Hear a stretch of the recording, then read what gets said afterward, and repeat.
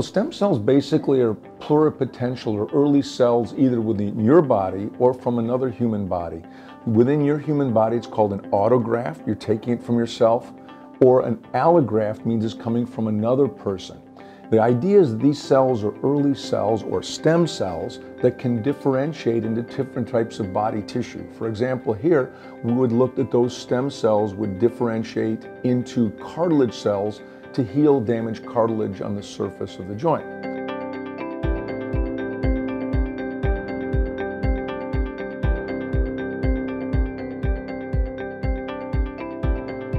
So stem cells, as I said, can come from your own body, or they can come from other people's bodies, and they can come from a number of sources. They can come from within your bone. So uh, to access that, obviously you have to drill into the bone to access.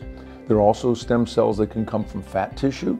Also, they can come from certain elements in your blood.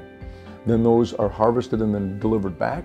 So that's why sometimes it's quicker, faster to take allograft from other people's bodies, but also probably the more most effective are probably coming from your own human body but those are obviously it's more painful because you have to harvest them, process the cells, but then they would be re-injected into a joint either on one occasion or multiple occasions. We're actually doing research now to develop technology also that will allow continuous flow of stem cells from your own bone into your joints, and we have some patents and technology we've developed there as well.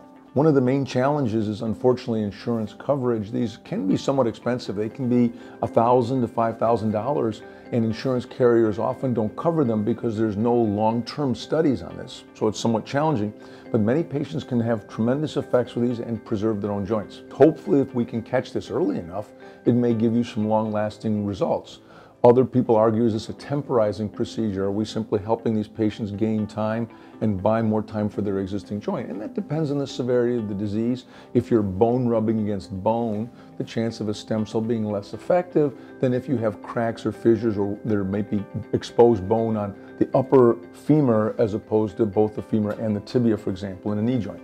So depending on the severity of disease, uh, if it's early disease, you may be able to basically slow or potentially stop the progression of arthritis. In more advanced disease, it may be more of a temporizing procedure.